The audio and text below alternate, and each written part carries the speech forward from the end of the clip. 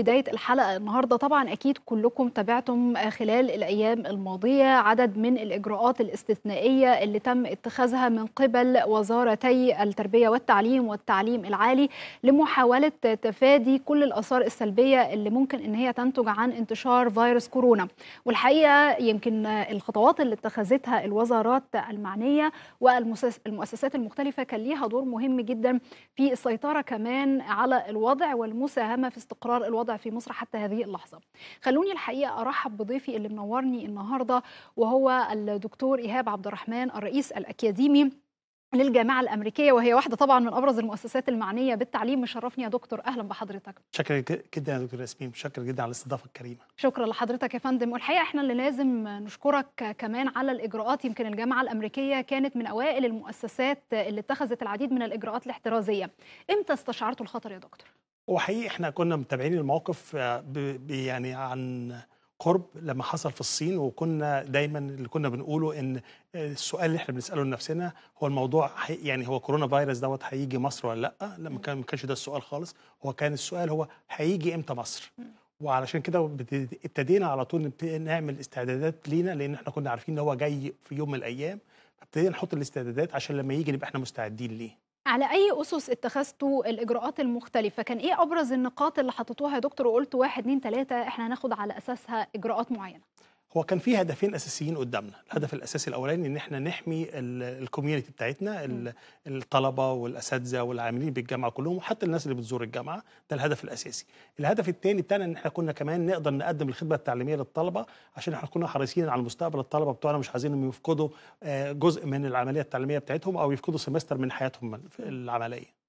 هل كان في تعاون بقى نقدر نقول من جانب الطلبة ومن جانب كمان القائمين على العملية التعليمية في الإجراءات اللي اتخذتوها يا دكتور؟ عايز أقول لحضرتك أنا حقيقي فخور إن أنا بنتمي للجامعة الأمريكية لأن كل فرد في الجامعة الأمريكية في الفترة اللي إحنا بنمر بيها ديت عمل مجهود رائع جدا وبين قد إيه إن هو على قد على قدر المسؤولية علشان يقدر نواجه ده كل حد طالب من أول ما تخش من الباب اللي الشخص زميلنا اللي واقف على البوابة عشان يحرس البوابة لحد رئيس الجامعة كلنا حقيقي يعني عملنا مجهود كبير جدا عشان نقدم الخدمة للطلبة بتوعنا. الطلبة كمان كانوا عندهم من المرونة الكافية إن هم يقدروا يتواكبوا مع اللي بيحصل التغييرات اللي حصلت في العملية التعليمية بتاعتنا.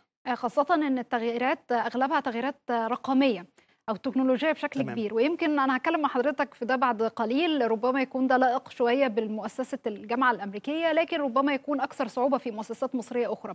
الطلبة إلى أي مدى تعاونوا فيما يتعلق بهذه الجزئية؟ هل بالفعل الجامعة الأمريكية متطورة من الأساس من قبل مشكلة الفيروس فيما يتعلق بالشأن الرقمي؟ هو إحنا طبعا إحنا إحنا بقالنا فترة إحنا بقالنا سنين بنحاول إن إحنا ندرب الدكاترة بتوعنا كمان على إن هم يقدموا التعليم الرقمي عبر الإنترنت. والدكاتره بتوعنا كانوا متدربين في الحكاية دي وكنا بعض الكورسات البسيطة كنا بنقدم فيها الحكاية التعليم الرقمي عبر الإنترنت كمان أو اللي هو اللي بيسموه ال online learning لكن اللي إحنا بنعمله اليومين ده ما هوش ما هوش online learning بالمعنى المفهوم بتاعه.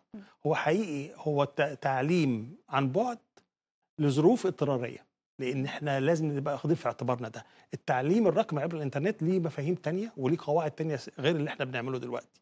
فاللي إحنا بنعمله نقطة مهمة قوي اللي حضرتك بتتكلم طبعًا فيها طبعا لأن وده اللي خلى اللي خلاني أبقى أقول إن أنا فخور بالطلبة والدكاترة بتوعنا ان هم بينوا قد إيه إحنا عندنا فلكسبيليتي أو مرونة في التعامل مع الموقف اللي إحنا بنمر بيه. حضرتك أوضحت إن التعليم الرقمي دلوقتي مختلف عن مسألة التعليم عن بعد واللي كنا معتقدين إن هي بتحصل دلوقتي وإن التعليم عن بعد ليه أسس محددة، لكن هل المسألة اللي بيتم تنفيذها دلوقتي يا دكتور إيهاب أثرت على المناهج؟ هو هي ما أثرتش على المناهج لكن هي حطت عبء أكبر على الطالب وحطت عبء أكتر أكتر على الدكتور. يعني اللي إحنا شايفينه الدكاترة دلوقتي بيقولوا لنا إحنا بنعمل تقريبا كل يوم مسح لآراء الطلبة وآراء الدكاترة عشان نشوف هم العملية التعليمية ماشية إزاي. وده على مستوى يومي بيتعمل. اللي هم بيقولوا لنا ان إن اتحط عليهم مجهود أكبر عشان يبتدوا يا إما يتعلموا ده من وجهة نظر الطلبة أو يوصلوا يوصلوا المعلومة للطالب ده من وجهة نظر الدكاترة بتوعنا. ده علشان حقيقي التعليم ده اللي إحنا بنقدمه هو عبارة عن تعليم عن بعد ل- لمواكبة الظروف الطارئه اللي إحنا بنتم بيها فالمجهود اتحط أكتر على الطلبة وعلى الدكاترة بتوعنا. ده ما هواش حاجة طبيعية يعني. وحضرتك بتو- بتوضح كمان انه مسألة إن هو عبء على الطالب لأن حضرتك بتأكد إن ده مش تعليم عن بعد. دي مسألة مختلفة فبالتالي التعامل معاها كان جديد سواء على الطالب أو على الدكتور. لا هو مش تعليم رقمي آه، عبر الإنترنت بالمفهوم بتاعه لأن التعليم الرقمي عبر الإنترنت ليه مفاهيم محددة. إزاي توصل الم... توصل توصل المعلومة إزاي تعمل اختبارات للطلبة. ده كلها ليها مفاهيم معينة. ومتعارف عليها ومعروفة وإحنا بنقدمها في خلال ال... الوقت العادي للجامعة. لكن اللي إحنا بنعمله دلوقتي إن إحنا بنقول إزاي ننقذ ال semester ده. إزاي نقدم الخدمة التعليمية دي وننقذها. فبالتالي قد- قدمنا للدكاترة بتوعنا آه، آه، عدة مقترحات كتيرة جدا كل واحد يقدر ياخد اللي يناسب ال course بتاعه فيها عشان يقدر يقدم الخدمة التعليمية دي. في ناس بتقدم المحاضرات بتاعتها آه، عبر الإنترنت مباشرة كأنها في ال class كأنها في قاعة المحاضرات بتاعتها. وفي ناس تانية بتسجل الفيديوهات بتاعتها وبتحطها على اونلاين آه، اونلاين لس- على ال system بتاعنا في الجامعة عشان الطالب يخش عليها. وبعدين بيتيح نفسه بعد كده للطلبة عشان يسألوه أسئلة على المحاضرة اللي يشوفها اونلاين آه، مش يعني ده شوية تقريبا ما هو ما هوش بالظبط التعليم مم. الرقمي عبر الإنترنت ولكنها هو أنا انا إحنا بنسميه دلوقتي يعني هو تعليم عن بعد لإنقاذ الموقف. الموقف بالفعل. آه، هل اضطريتوا إن أنتوا تلغوا أجزاء معينة من المناهج؟ لا إحنا ما لغيناش آه، أجزاء معينة من المناهج بالعكس إحنا بنقول للدكاتره بتوعنا لازم يقدم المنهج بتاعه كامل للطالب.